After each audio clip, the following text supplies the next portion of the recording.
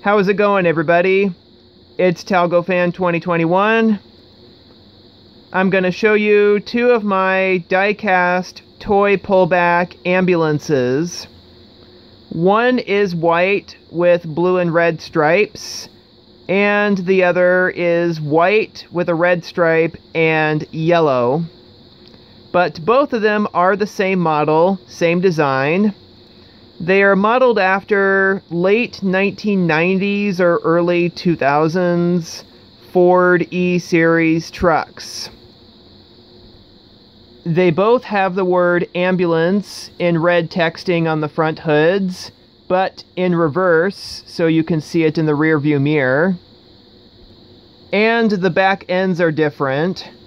One on the right says ambulance and keep back, and the one on the left says emergency with the Star of Life symbols. The back doors do open and close, but the front side doors don't open because they're all metal and they are fixed in. This one says ambulance, emergency medical services, and this one just says ambulance.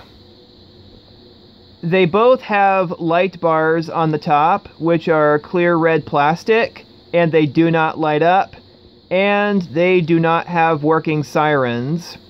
I mean, there are some people who do customize their own diecast pullback ambulances or other emergency vehicles, and they just put like a little sound box inside with a little battery compartment so they can do the siren noise too. The thing about the Star of Life symbol is that it is a blue six pointed star outlined with a white border and usually featuring a snake and a pole in the center which is this symbol right here on Wikipedia. Today, it is a recognized symbol of emergency medical services in multiple countries. The six sides on the Star of Life symbol represent the six phases of operation. So the first one is detection, two is reporting, three, response, four, on scene care, 5. Care in transit, and 6. Transfer to definitive care, such as the hospital. Finally, the pullback feature.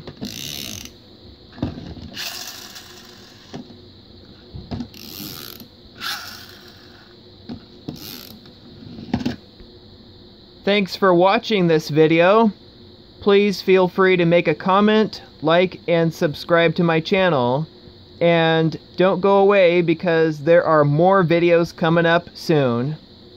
Have a good day, everybody.